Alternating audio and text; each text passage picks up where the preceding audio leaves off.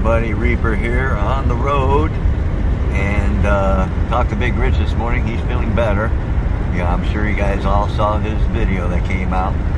And I talked to him, so it was, uh, even Mara got sick. A lot of people have been getting sick, so I'm staying away right now.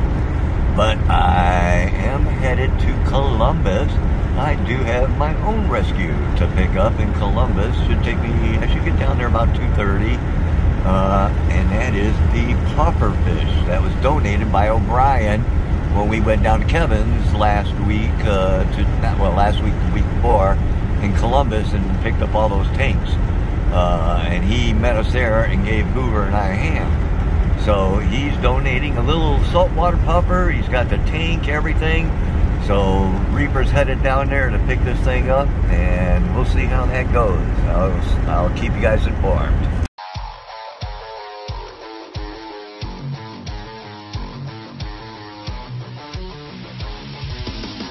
All right, everybody, Reaper here. Made it down to O'Brien's place. And look, everybody.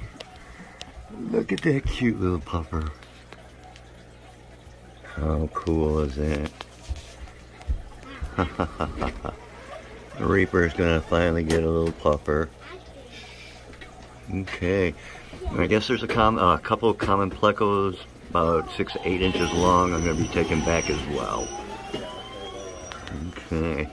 So we'll go ahead get some of this water into the five gallon, get them put in there, and uh, try and get this done as quick as possible. We do have a storm coming today here in Ohio. But look at how cute he is. Oh, what are you guys feeding them? Snails and uh, stuff? And pest snails, uh, frozen bloodworms, shrimp, uh, busted open clams. Really? And it tears up the snails? Oh, yes because I got an overabundance of snails and we were oh, wondering yeah. what we were going to do with them. Now I know. yeah. Have you tried to like feed them with tweezers or anything like that? Oh no, I did. I made a mistake and tried to feed it with my hands, and it got a hold of the tip of my finger. And, did it? Oh yeah. Really? I bet that was smart. Yeah. Hmm. hmm, hmm. okay. All right, we'll get some water and get a bucket and we'll get this process going here. And, and what's the reason I'm getting him again? Because you needed a puffer. Uh, okay. That's a good reason. All right. All right, so I asked him if there's a heater because I didn't see one, and look, there's a nice tank. This all comes out. It's all your biofilters. Your pumps oh. over here. All right, and now, how do I go about taking care of this guy? You said it's salt water, so. It is salt water. All right, how am I gonna? This right here will tell your parameters. You want it from 0 to 1, uh, and on high level, 0 to 6. Okay, 0 to 1. Yep.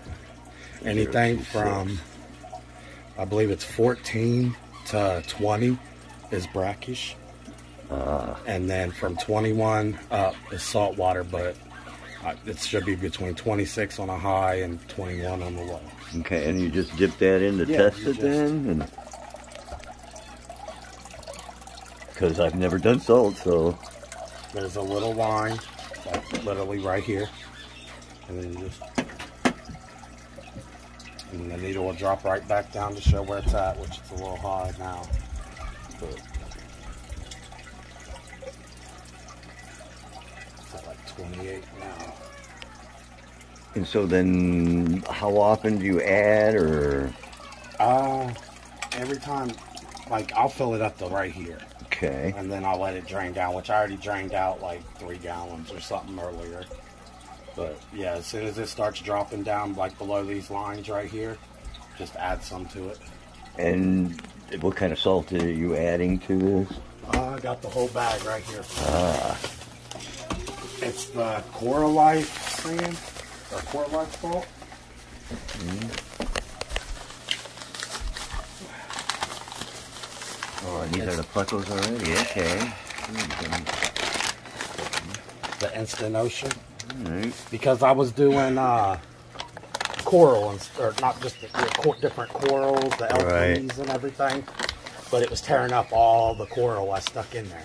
Now, say it does get low and I need to add. How much do I add? Uh, it tells you on the bag, but I want to say it's uh total for the whole 15 gallons. I was using three and a half scoops. Okay. I got the little half scoop right here, okay. so just three of these, three and a half of them. Alrighty. I definitely read the bag. And what you got over there then? Uh, Tetras. There's a Sedonis. A couple little albino bristle noses. Oh, Uh, there's three peacock eels in there. Some bettas. a little bit of everything. Yeah, it's my son's tank. Looks nice. It's been going three years now. Really? And all I do is add water to it. I've never had to do a water change. Really? Really. There's In three years? smell over three years. I just add water to it. But literally, the water don't stink. It's And do we have a turtle or something? uh, a bearded right there on the back wall. He climbs. oh, there he is. Oh, yeah. Bearded dragon. Look at that. Awesome. How long you had him? What, a couple months? Yeah, we rescued him. Oh, really? A The lady rescue? had two of them that big in a five gallon tank. Oh, man. And I- she's like, well, if somebody would just give me a tank, they could have the other one. And I said, well, I got a 55 gallon that's cracked. Come get it. Right, perfect. So she came and got the 55 and gave me him. But she's mm. vicious. He'll eat your freaking fingers off. Did I bring my hose in? Your hose, yeah. It's right here. Oh, okay. Yeah, we'll go ahead and Yeah, you know. Get some water in here and we'll get going then. Okay. Awesome. And I've just been informed there's a remote for this sucker. Look at this. Yeah, that's the rain mode. Rain mode? Really? Night mode. Then you got your Uh-huh. daytime mode. Then it does like you kick that off, it'll go red, orange, yellow, pink, blues, and then all different. Whoa, so you can do coral in here probably. Yeah, that's what it's designed for. oh, how yeah, it's interesting. a tank setup. But puffers don't like coral, do they? They eat it. Huh? That's why there's no coral. Okay. Okay, makes sense. yeah, But and then you can change like if you want it bright or you want it dim. awesome. Um, and how long have you had them? Um, about six, eight months. Really? No idea if it's a male or female? No, RMS didn't tell me. Okay. Oh, that's where you got them, RMS. Okay. because they were supposed to have uh, the figure eight puffers, and I drove all the way up there, and they didn't have no figure eights. They only had the spotted puffers, This is what he is, a spotted Yeah. pupper then? And how big will he get then? maybe four inches. Oh, perfect. Awesome. All right, all right. Let's get the water in there. Yeah. All right. So, yep, I hooked up with O'Brien and came down here. Big Rich is still kind of under the weather, but he's feeling much better. But just staying away from there right now. Uh, Dawn doesn't even know I'm down in Columbus. but she's gonna find out when she watches and views this. But I don't think there'll be a problem. That's because I took my car and, you know, not in the best shape. It's got a bad tire on the back, but I made it down, no problem. So we're draining the water out. We'll get them in there, and then we'll get this out. I got a place in the back seat for this, and in the front seat, I'm going to tie him into the seat belt, and we can get these guys home. Any White Castles around? Really? Three minutes. you got. I got to get a White Castle while That's I'm what I down told there. her. I was like, we were eating at White Castle this morning. Really? Like the crash site went there. And I was like, man, Reaper's gonna want White Castle. Then he texted me like, there's White Castles, right? I was like, yeah. yeah, I figured there was. Definitely gonna have to hit them up. All right, these guys will get to OFR. I don't know. I'll see if Don wants one for the 125. We'll see. All right, O'Brien got most of the water out. We uh, got what we wanted in here. The little puffer's already in there. Got the piece of coral out, and now we're just gonna empty the rest of this here and get everything loaded up.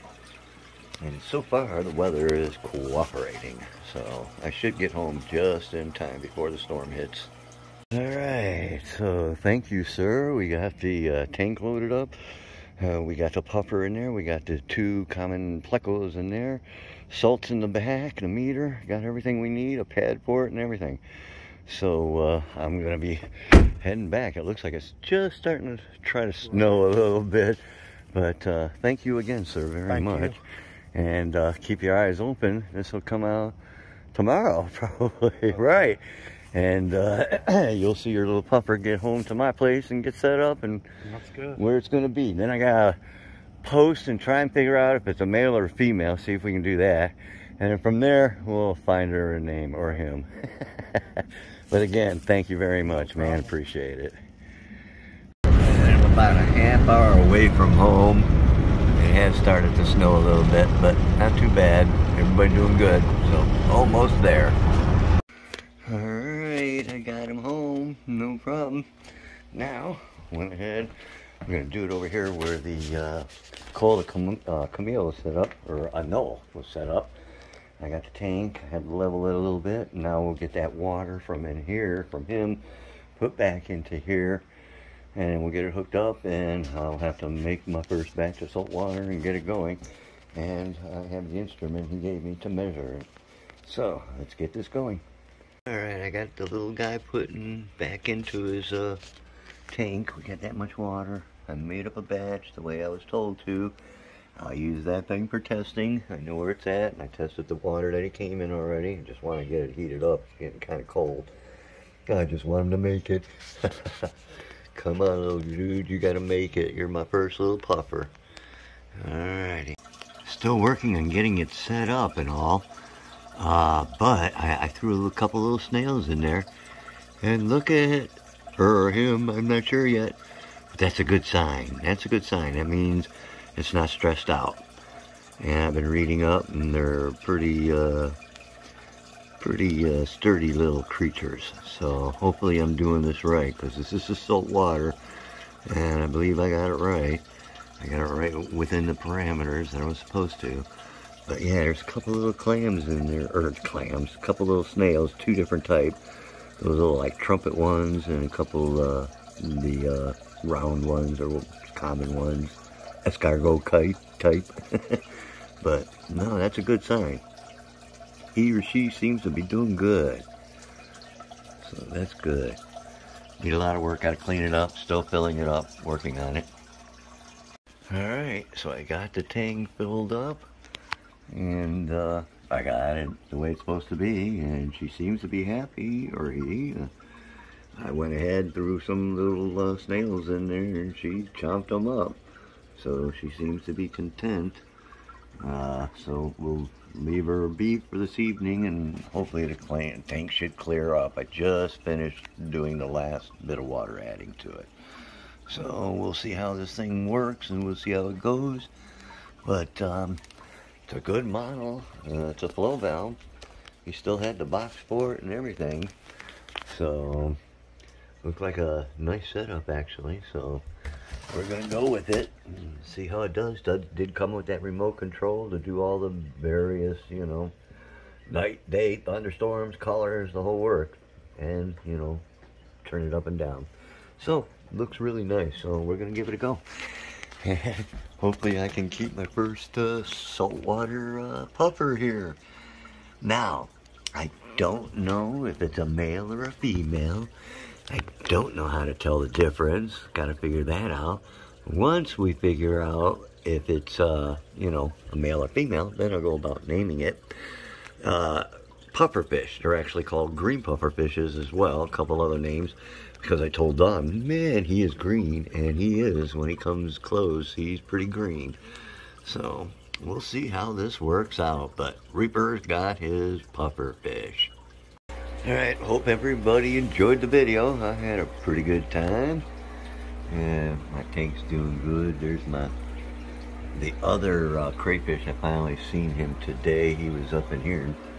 And uh, back there he is. You can barely see him.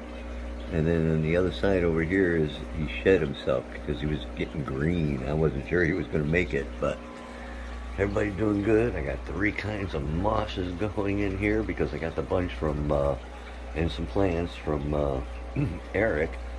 And these guys are doing good. And I put a, most of his plants in here. It's hard to tell, it's dark. And the uh, two uh, plecos that I picked up from uh, Columbus from O'Brien, I stuck them in here.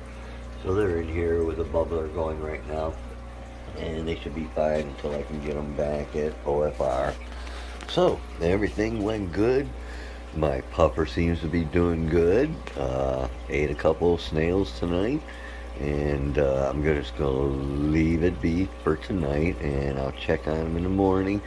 And we'll see how it does. But Reaper's got his first puffer fish.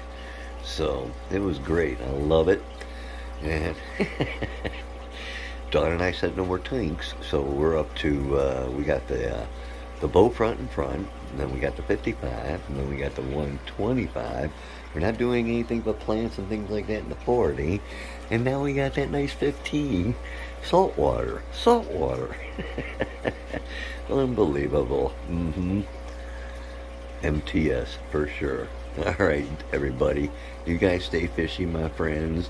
Hit that like, uh, hit the like, subscribe, share, all that good stuff and we will go deeper with the Reaper.